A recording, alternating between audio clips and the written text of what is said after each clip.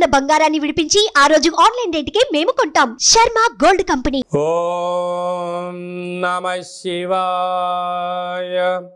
ఓం నమో నారాయణాయ. ఓం శ్రీ స్వర్ణాకర్షణ కాల భైరవాయ నమో నమ. ఓం శ్రీ నరదృష్టి నివారణ కాల భైరవాయ నమో నమ. ఓం గణానాన్త్వా గణపతిగం అవామహే. కవిం కవేనాపవస్త్రవస్తవం జ్యేష్ఠరాజం బ్రహ్మణాం. బ్రహ్మణస్వత ఆన శృణ్వన్నోతభిస్సీదసాదనగం శ్రీమహాగణాధిపతయే నమ. ఓం ఆదిత్యాయ సోమాయ మంగళాయ బుధాయ చ. గురుశుక్రశనభ్యచ్చ రాహవే. కేతవే నమో నమ. హరి ఓం.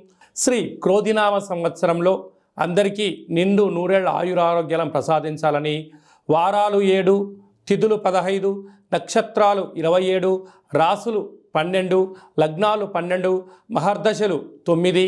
అలాగనే షడ్రుచుల సమ్మేళనమే. ఆరు ఋతువులతో కూడుకున్నటువంటి తీపి కారం పులుపు చేదు వగరు అనేటువంటిది ఎలా ఉంటుందో మనిషి జీవితంలో కష్టాలు సుఖాలు ఎప్పుడు ఉంటాయి.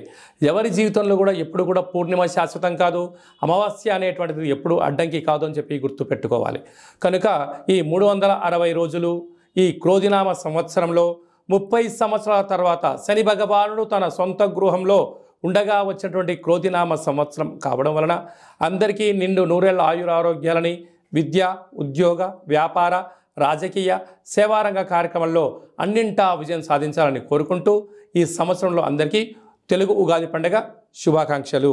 ద్వాదశ రాశిలో గ్రహ గమనాన్ని ఒకసారి వీక్షింపచేద్దాం.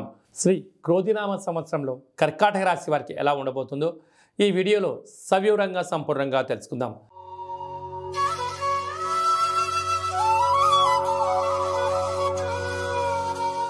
కర్కాటక రాశిలో ఏ ఏ నక్షత్రాలు వస్తాయనగా పునర్వసు నక్షత్రంలోని చివరి పాదం అనే నాలుగవ పాదము పుషమి నక్షత్రంలోని నాలుగు పాదాలు ఆశ్లేష నక్షత్రంలోని నాలుగు పాదాలు కలిపితే కర్కాటక రాశి.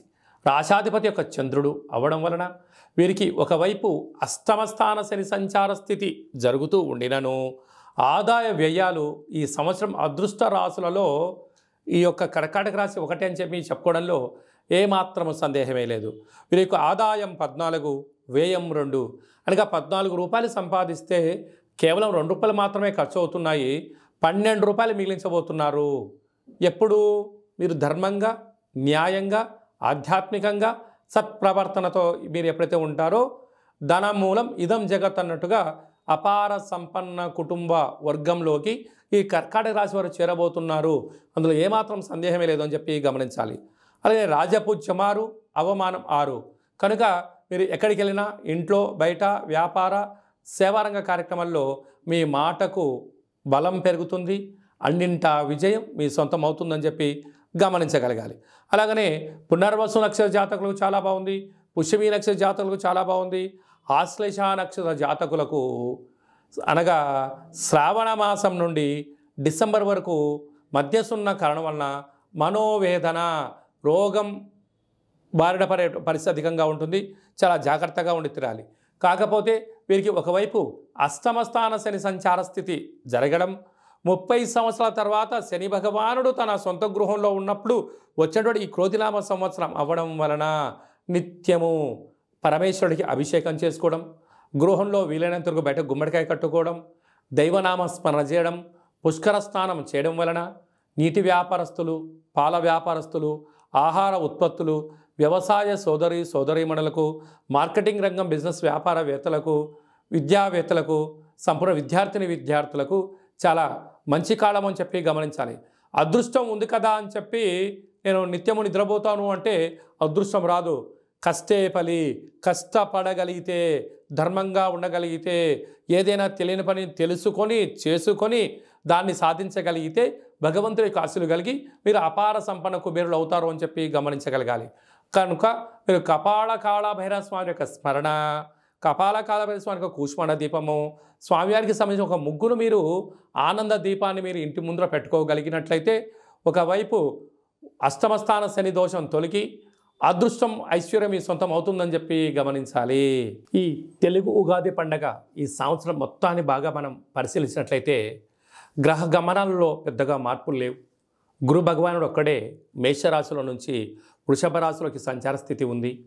కనుక వీలైనంత వరకు ధర్మము ఆధ్యాత్మికత నిత్యము ఆరోగ్యము సంపూర్ణమైనటువంటి ప్రతి ఒక్క వ్యక్తిగత జాతకంలో మీరు అందరిపైన గ్రహ గమనాల పరిస్థితి చాలా అధికంగా ఉంటుంది. కనుక సూర్యోదయపు మునుపురమే లేవడము పచ్చటి పైరు పొలాలలో సంచారము చేయడము ఆకులతో కూడుకున్న జీవన విధానాన్ని ఏర్పాటు చేసుకోగలిగినట్లయితే మంచి కాలం ఉంటుందని చెప్పి గమనించగలగాలి.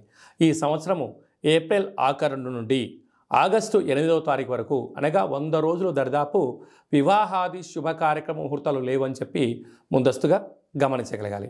కనుక ఈ సంవత్సరం అంతనూ కూడా మనం అద్భుతమైన విజయం సాధించగలగాలి అన్నట్లయితే ఒక్కొక్క నెలలో ఒక్కొక్క కాళభైరవ స్వామి వారు ఉంటారు కనుక ఆ కాళభైరవ స్వామి యొక్క స్మరణ కాళభైరవ స్వామికి కూష్మాండ దీపము కాళభైరవ హోమము కాళభైరవ రక్షణ కంకణాన్ని మనం ధరించగలిగినట్లయితే ఈ సంవత్సరాంతము కుజుడి యొక్క ప్రభావము శని భగవానుడి యొక్క ప్రభావము తీక్షణ తగ్గి వృత్తులలో ఉద్యోగాల్లో వ్యాపారాల్లో మనం అనుకుంటున్న విజయం మన సొంతం అవుతుందని చెప్పి గమనించాలి.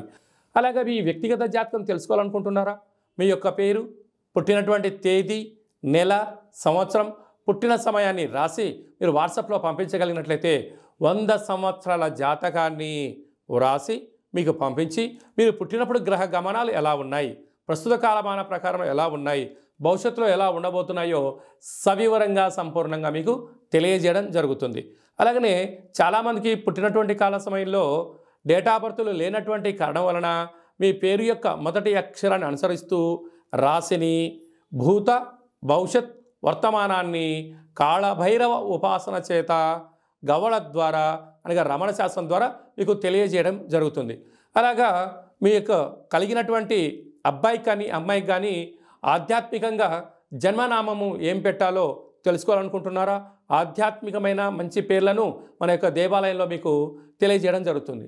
అలాగే మీ అబ్బాయి కానీ అమ్మాయి కానీ ఎంత ప్రయత్నం చేసినా సంబంధం ముడిపడడం లేదా ఎందుకు ప- పడట్లేదో మనకు తెలియజేయడం జరుగుతుంది. వచ్చే వధువు కానీ వరుడు యొక్క జాతకంలో గణాలు గుణాలు జాతకము సంతానము విదేశీయానము యోగాలు ఎలా ఉన్నాయి దోషాలు ఏమన్నా ఉన్నాయో కూడా వివాహ జాతక పరిశీలన వివాహానికి సంబంధించినటువంటి సంపూర్ణంగా మీకు తెలియజేయడం జరుగుతుంది.